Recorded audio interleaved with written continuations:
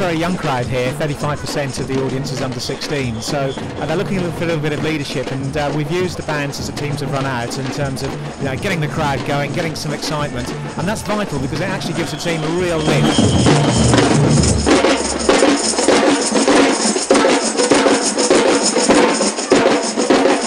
We've also uh, took uh, uh, Rendezvous Project abroad of us, in the sense of speaking, in an away match at Colchester United last year, where uh, we had the drummers in amongst the crowd, got the crowd going, and brought us on a tremendous 3-0 victory. So uh, made a big, big difference.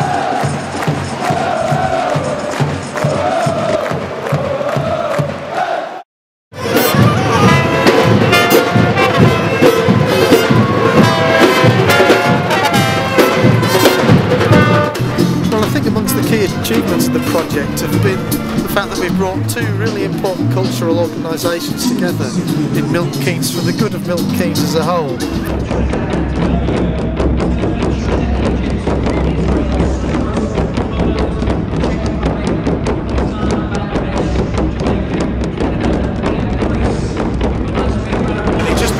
This family day we had um, we had three workshops with Bloco Fogo and, uh, and, and a lot of people were coming up and they were saying what are we going to be doing you know, after this? Are we going to be carrying on the project? Are we going to be doing some more drumming? Are we going to be doing any singing? And they just they really want to do things now for themselves. I think it's been brilliant having all the bands along, but now I think the supporters really want to do things for themselves.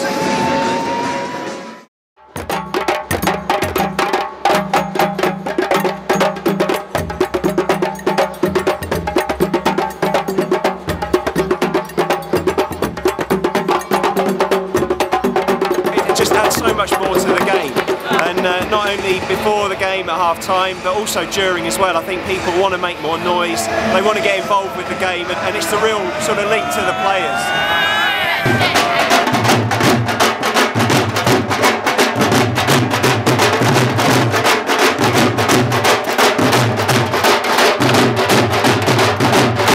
Not only do we have a broad young demographic, we have people of all backgrounds, uh, we have uh, one of the highest proportion of female supporters. Uh, Milton Keynes is a very cosmopolitan uh, uh, place to live, so actually, you know, we're creating an identity, we're creating a, something special for the football team, and uh, being proud of Milton Keynes is what we want these people to think about, and actually having Rendezvous Project involved with that, with all its different cultural backgrounds, makes it really, really special.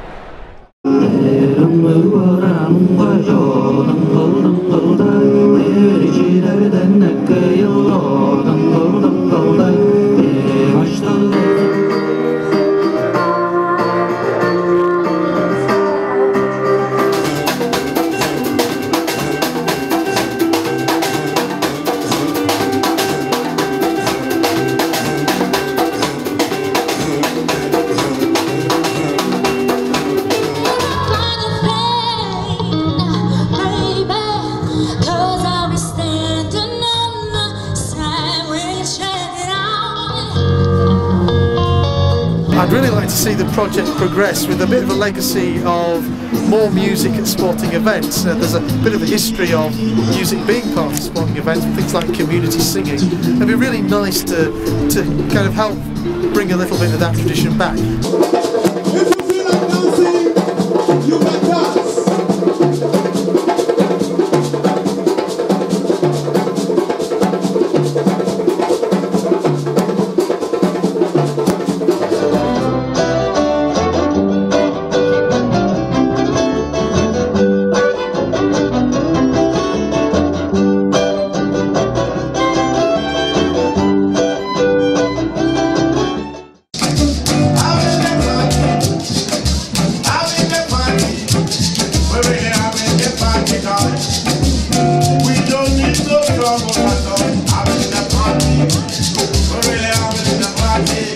i don't